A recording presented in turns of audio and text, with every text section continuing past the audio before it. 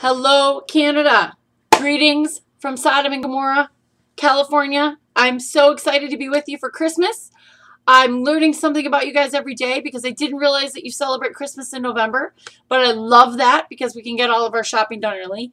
And uh, I hear the exchange rate's pretty good right now. But my name is Kerri Pomarolli, and I'm coming to rock out for Pink Christmas because you know what? I think Jesus loved pink. I really do. So, girlfriends, get your party shoes on. We're going to sing. We're going to laugh. We're going to have a great time. And it's Christmas in November, Canada style, with me, comedian Kerri Pomarolli. So, I can't wait to see you guys. Talk to you later. My kids are in the car. I mean, really? I think they are. Okay, I'm sorry. Is that on? Did they say that out loud? Okay, I gotta go.